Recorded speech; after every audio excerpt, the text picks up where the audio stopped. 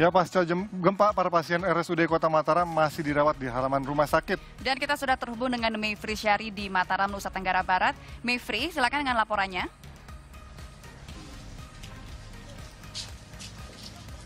Ya Panji dan juga Rahma, beginilah suasana atau situasi di dalam uh, kamar perawatan kelas 3 yang terletak di RSUD Kota Mataram, Nusa Tenggara Barat. Memang berbeda dengan perawatan kamar perawatan kelas 3 lainnya di rumah sakit lain. Kalau uh, pasca gempa memang ini para pasien kemudian dievakuasi atau dialihkan uh, ke halaman dari Rumah Sakit Umum Daerah uh, Kota Mataram ini dikarenakan uh, pihak rumah sakit menilai memang kondisi bangunannya ini masih relatif rapuh, kemudian juga juga gempa susulan yang masih uh, kerap terjadi juga dikhawatirkan ini akan mempengaruhi kondisi bangunan tersebut sehingga untuk mengurangi risiko tersebut seluruh pasien ini memang tidak hanya pasien gempa saja tapi seluruh pasien yang ada di dalam uh, perawatan Rumah Sakit Umum Daerah Kota Mataram ini memang uh, sejak uh, semalam sudah uh, kemudian dirawat di tenda-tenda yang sengaja didirikan di halaman RSUD Kota Mataram. Ini kalau terlihat di sekitar saya, kalau di sebelah kiri ini bisa kita lihat ada kama, ada pasien-pasiennya, Kemudian di sebelah kanan ini juga ada beberapa uh, kemudian eh, alat-alat uh, uh, kesehatan yang juga disiapkan di uh, area sekitar perawatan kelas 3 ini. Tapi memang kalau kita lihat lagi dari tadi uh, petugas kesehatan atau kepala uh, kam unit kamar perawatan kelas 3 ini juga menyatakan ada beberapa memang uh, tempat tidur yang kosong.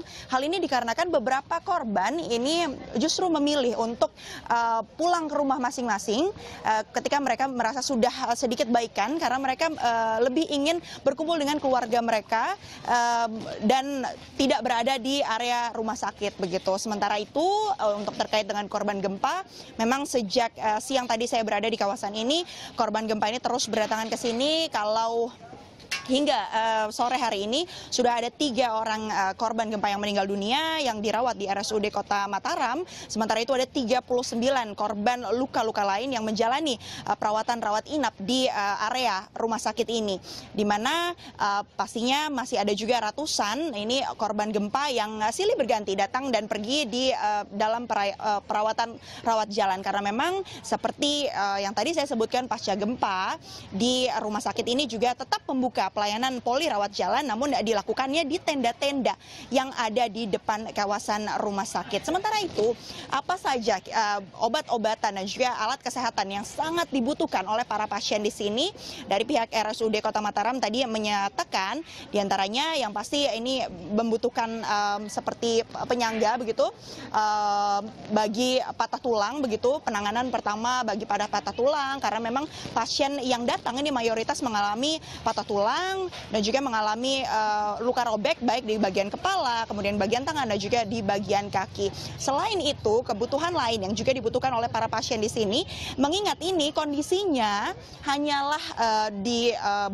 dalam tenda, kemudian hanya dilapisi oleh um, seperti um, seperti tirai yang tipis begitu.